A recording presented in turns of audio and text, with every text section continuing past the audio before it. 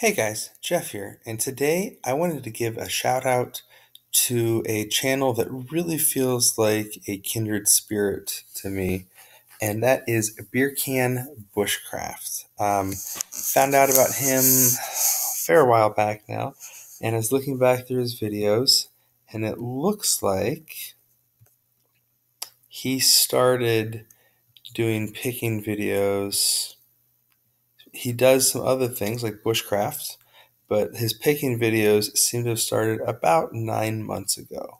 Now, one of the things that has really drawn me to beer beer can bushcraft is the fact that he keeps things very down to earth. He does a lot of DIY, which you guys know when it comes to picking tools, DIY is huge for me.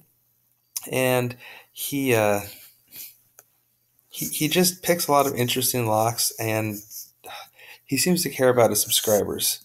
With that, I should mention he has just recently hit 100 subscribers. I'm looking forward to him making it all the way up to 200 sometime soon. So, of course, if you haven't already, you should go over and check him out, add to his subscriber list. Um, but as far as some of my favorite videos, uh, one of the first ones of his that I actually ran across was this um, the video number 10 bushcrafting a key from a beer can.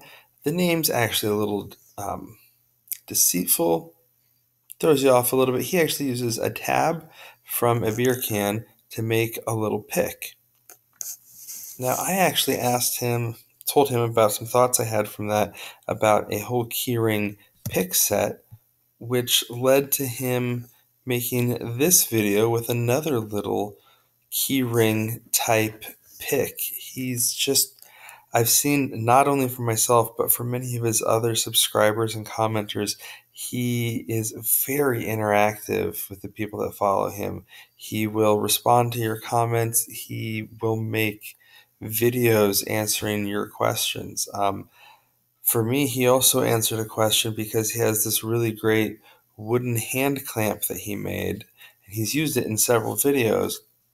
And so in video number 41, he actually described exactly how he made this from just some simple pieces of scrap. But he goes through the steps, talks about how he did it, just to uh, just to answer my question. Really great guy. Um, he's also, from what I can see, he seems to follow Brummy Lockpicker, which I know that I've commented about before, and makes some of the similar tools as in his uh, the tools right here in his video number nine for attacking some lever locks.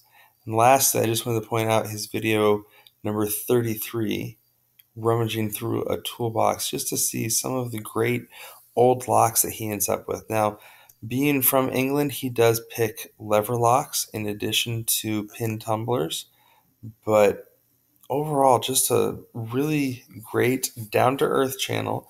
If you haven't heard of him before, I hope you will check him out. Check out these videos here that I've mentioned.